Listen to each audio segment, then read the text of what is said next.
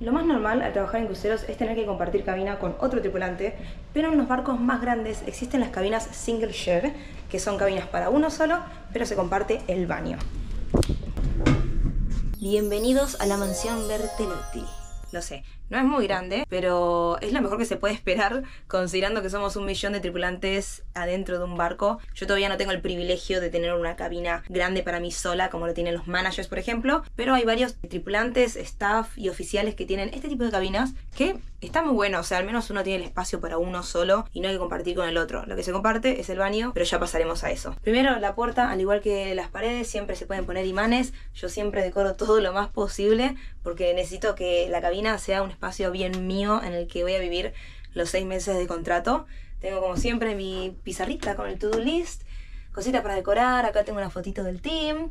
Y bueno, pasando ya a lo que son las áreas de almacenamiento, que son bastantes, eso está muy bueno. Tenemos diferentes niveles, son como cuadrados que no son muy grandes, yo no sé bien cómo usarlos, simplemente tiro ahí las cosas que necesito tener a mano. Acá arriba tengo provisiones, tengo acá frutos secos, cositas para comer para cuando uno quiere picar algo y no tenés ganas de irte hasta el crumes.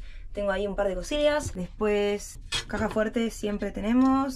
Le puedo poner un candado si quiero. Eh, el mate, por supuesto, no puede faltar. Cositas, cepillo, cosas que uso al cotidiano el termito para el mate.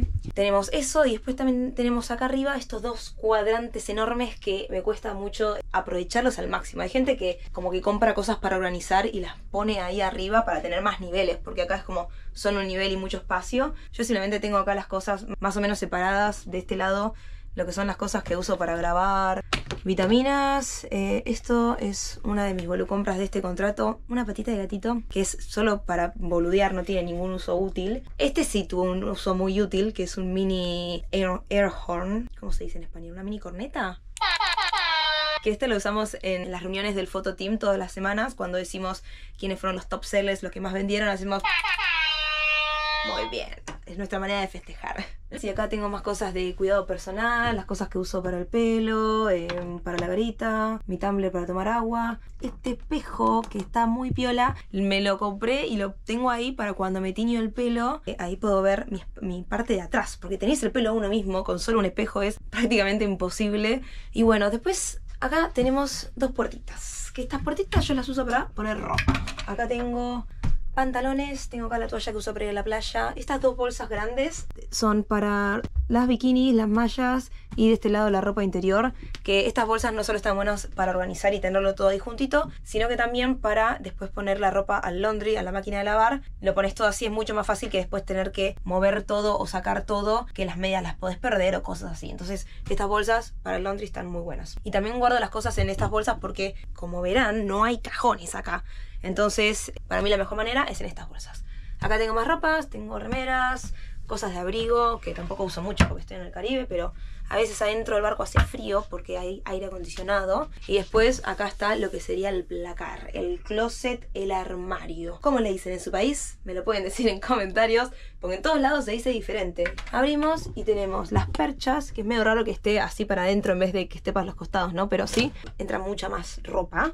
Ahí tengo el uniforme y ropita. Acá shorts, tops, ropa. Bajando de acá tenemos Tuki, una mesita, si uno quiere usarlo tipo escritorio, yo cuando quiero editar los videos pongo la compu acá, así que puedo usarlo, o también como mesita de luz. Pero yo lo que uso de mesita de luz es esta silla de acá, que obviamente cuando recibimos a los invitados queremos que se pongan cómodos, entonces nos apretamos todos acá, uno, dos, tres, y la última persona le toca el banquito.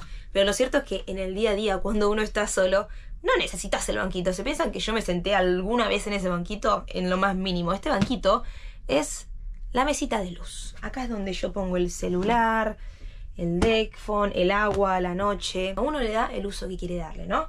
Después tenemos la mesita. Acá está este mínimo espacio que, bueno, uno acá trata de aprovechar todo al máximo. Ahí donde viento la compu, tengo el control remoto y tengo esto que es un kit de tenedor y cuchara porque hay veces que eh, me gusta comer eh, noodles en la cabina, fideitos, entonces no tengo cubiertos, así que yo tengo mi propio set para estar independiente y lista para todo.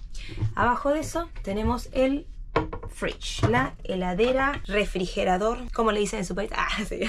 Acá en realidad hay más niveles de esto que yo los saqué están acá si uno quiere poner varios niveles. Yo la verdad no soy de tener muchas cosas, más que nada bebidas. Tengo ahí unas coquitas cuando nos juntamos con mis amigos, jugo, una agüita de aloe vera, un Red Bull que es muy gracioso. Yo no soy de consumir Red Bull, pero siempre tengo uno en caso de emergencia. Uno nunca sabe cuándo lo puede llegar a necesitar de estar muerto y tener que trabajar. Entonces lo tengo ahí, rompa en caso de emergencia, pum, lo tengo. Y al lado de la laderita tenemos enchufe. Tenemos de este tipo y de dos circulitos.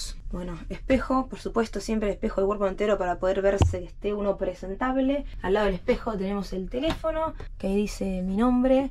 No suelen llamarme mucho a ese teléfono porque yo tengo este, que me llaman en cualquier momento pero eso es por cuestión del trabajo. La mayoría de los tripulantes no tienen deck phone y eh, se los ubica con este teléfono de acá. Acá en la pared, un veladorcito que uno puede mover si uno quiere leer, te lo pones ahí para que te dé abajo. Y bueno, acá está la puerta del baño, que el baño es compartido, como verán ya la cabina es más chica de lo normal, el baño también es más chico de lo normal y es por eso que la bacha está incorporada en la cabina que alguien me dijo una vez como que tiraba red de cárcel eso, que sí puede ser, pero a mí la verdad que me gusta, prefiero tenerla acá y usarla cuando yo quiero que tenerla en el baño y tener que esperar a que la otra persona salga del baño para poder usarla. Entonces tenemos la bacha acá, acá para el jabón y un espejo más como mostré antes. Acá arriba tenemos un enchufe que eso me parece que es para los que se afeitan, para afeitadoras, pero la verdad es que yo nunca lo uso, pero bueno, si uno lo necesita para estar ahí cerquita del espejo. Y ahora pasamos al baño. Se abre la puerta. ¿Qué tenemos acá? Inodoro y ducha. Eso es todo, amigos. Uno entra acá. Si te quieres duchar, acá tienes todo este riel para cerrar la cortinita.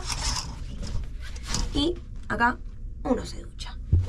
Uno abre. Si quiere ir al baño, acá está el inodoro.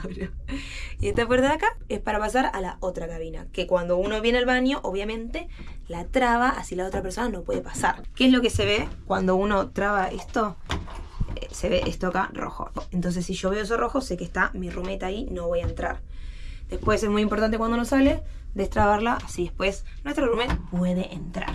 También tengo la opción que desde acá puedo trabarla, cosa de que mi roommate no vaya a entrar en ningún momento. Pero me ha pasado un par de veces que me olvido las zipas adentro de la cabina. Con las zipas yo abro la puerta, entonces si me olvido las CIPAS, tengo que ir a recursos humanos a que me den una nueva. Si tenés confianza con quien vive del otro lado, que en este caso yo la tengo porque es una amiga argentina de mi team, le digo que me abra la puerta de su cabina, que me paso para el baño, del baño me paso a mi cabina y recupero mis CIPAS. De hecho, hay veces que abrimos las dos puertas, nos pasamos de un lado al otro, nuestros amigos pasan de un lado al otro. O sea, si tenés confianza con la persona con la que compartís baño, es lo mejor que te puede pasar. Aparte, nos ponemos de acuerdo para la hora de la ducha y eso, así que reviola. Y bueno, si pasamos al tema paredes, yo siempre las uso al máximo. Esto que tengo acá son las Cabin Inspection, o sea, son todos los papelitos de cuando me hicieron inspección de cabina.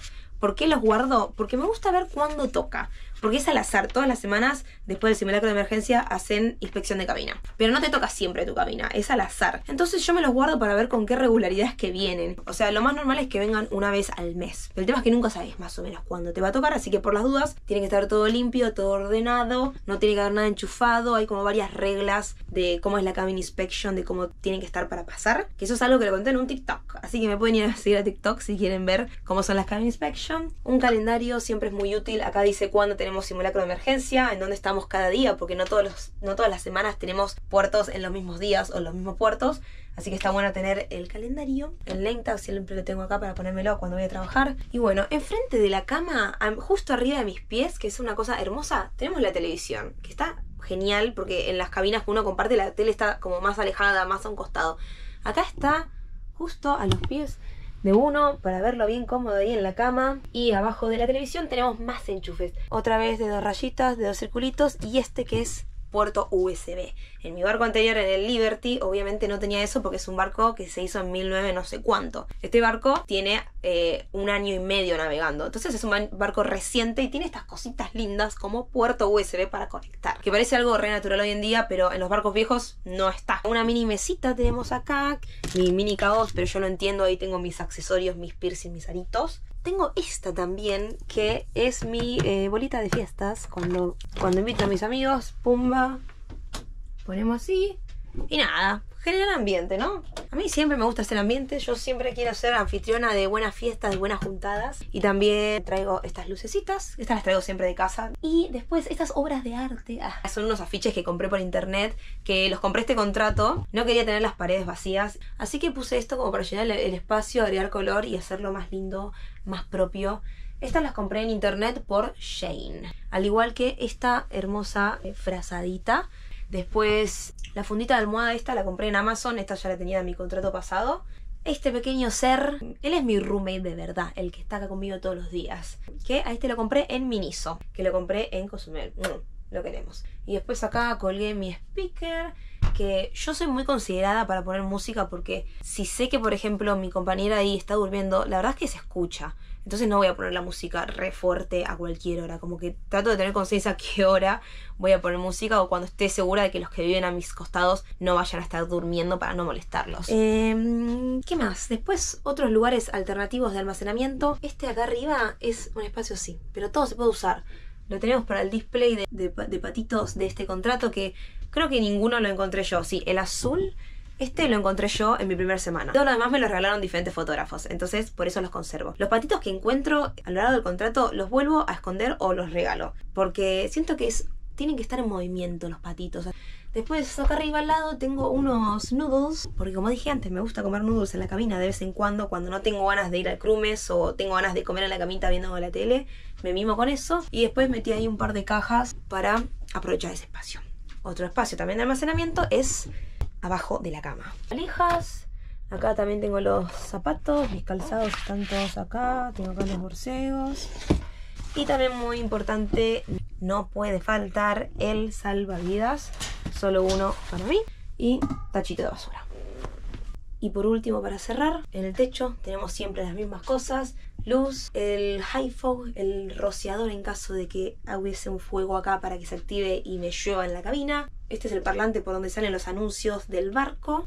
Otra luz y el detector de tengo que decir que esta cabina me gusta mucho. Me encanta eh, tener espacio acá. Mi contrato pasado, que hice un video mostrando mi cabina, tenía cabina para mí sola, pero era de dos. Entonces yo me despertaba y no podía sentarme así porque me golpeaba la cabeza.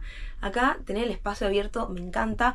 Obviamente hay mucho menos espacio. No todo se puede en esta vida. Me gusta mucho el diseño de la cabina. Hay dos cosas que no me gustan. Una es que se escucha mucho todo lo que pasa, ¿no? Tipo, mi compañera va al y yo obviamente lo escucho. O si ella pone música ahí, lo escucho. O si la persona que está de este lado pone música, lo escucho. Pero bueno, eso pasa en todos los barcos, en todas las cabinas de todos modos. Y otra cosa es que no tengo control del aire acondicionado. En cabina doble obviamente que hay, ¿no? Cuando es cabina así, hay solo un control de aire acondicionado para las dos cabinas y justo está del otro lado. Entonces, si tengo frío, tengo que escribir y decirle, che, tengo frío, bajas el aire a mi compañera que está del otro lado para que ella lo ajuste. Pero bueno, eso es cuestión de suerte. Si me tocase vivir de ese lado, yo tendría el poder. Y bueno, este ha sido mi hogar, mi recoveco, mi cuevita, la mansión Bertelotti. El lugar donde he estado todos estos meses, donde me junto con mis amigos varias veces, donde vemos pelis, donde descanso, donde me pongo mi música y tengo mi momento conmigo misma. Así que me gusta mucho, me gusta mucho decorarlo y hacerlo bien mío, porque si no sentiría realmente que es como una cabina de cárcel. Quiero que cuando termine de trabajar y llego a este espacio sea un lugar donde me sienta cómoda, donde me guste, donde me genere algo lindo. Así que así es como yo hice mi Espero que les haya gustado. Si quieren ver cómo era la cabina de mi contrato pasado, pueden ver ese video y ya veremos cómo será mi cabina en mi próximo contrato, que va a ser en el Icon of the Seas que ya sé que las cabinas dobles van a ser muy diferentes, eso seguro va a ser un video, y las cabinas que van a ser para uno, que seguro es la que me va a tocar a mí, veremos cómo será. Así que cuando llegue el icon les mostraré esa cabina. Pero por ahora eso es todo, espero que les haya gustado, les mando un beso y nos vemos la próxima.